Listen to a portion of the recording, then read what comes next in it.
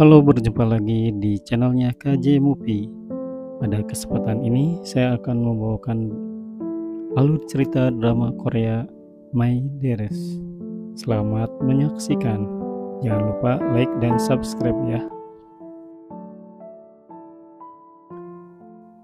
Cerita ini dimulai pada saat pemerintahan Injo.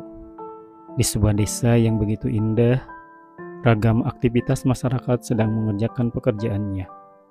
Ada petani yang menikmati sejuknya angin. Para pelajar sedang mencari ilmu.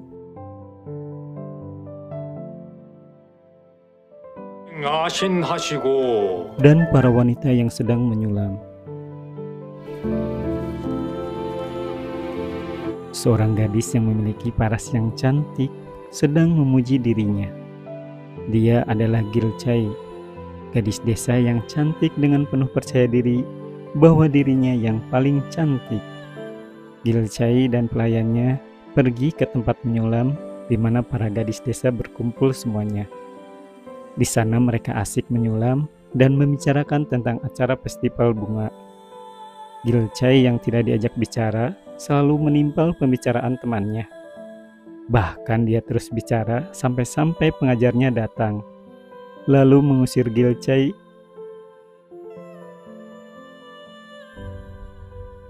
Pelayannya sangat frustasi, bahkan dia mengatakan bagaimana dengan masa depannya. Malam hari, Gilcai bermimpi ia sedang menyulam, dan tempat benangnya terlepas. Gilcai berlari menyusuri taman, hutan, danau, bahkan gunung es pun ia lewati. Sampailah ia di sebuah pantai dan melihat seorang pria yang sedang menatap indahnya pantai. Tempat benang itu tepat berhenti di kaki pria itu. Dilcai menatap pria itu dan berkata, "Siapa kamu?" Wajahnya tidak nampak jelas karena terhalang oleh silaunya sinar matahari. Pria itu berkata, "Aku sudah menunggumu dalam waktu yang lama." Ketika pria itu akan mendekatinya, tiba-tiba si pelayan membangunkan Gilcai. Ternyata Gilcai sedang bermimpi. Gilcai pun terbangun dan memarahi si pelayannya. Ketika Gilcai mau tidur lagi, pelayannya bilang bahwa Tuan Muda Yenjo akan datang ke festival bunga. Mendengar hal itu, Gilcai sangat bersemangat untuk mengikuti festival bunga. Di jalan ia bertemu dengan Yun E, sahabatnya. Di festival bunga gadis-gadis menari bahagia karena itu merupakan pesta rakyat yang selalu dirayakan di desa tersebut.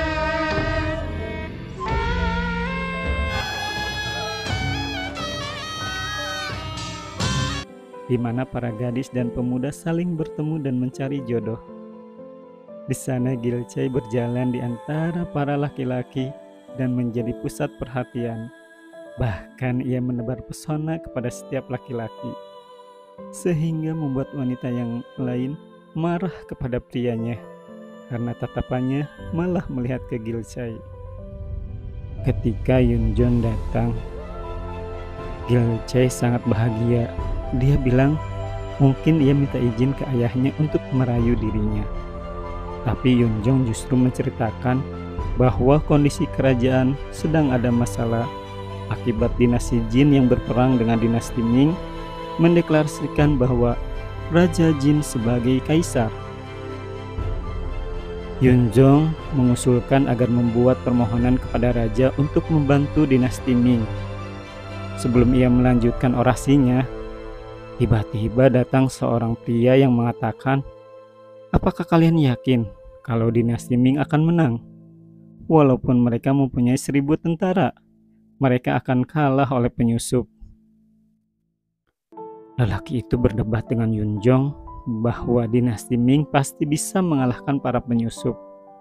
Dan lelaki itu bilang, apakah kalian para cendikiawan bisa membangun tembok dengan kuas atau bertarung dengan tinta? Para pria menceritakan tentang siapa sosok Li Hyun itu. Li Hyun yang datang ke desa itu ingin belajar dan ikut ujian bersama anak-anak. tetapi ditolak oleh para guru. Akan tetapi, Li bisa membujuk para tetua di desa sehingga Li bisa berada di desa itu. Rumor mengatakan bahwa Li adalah seorang misogami, yaitu membenci pernikahan. Jadi dia adalah orang yang tidak mau menikah.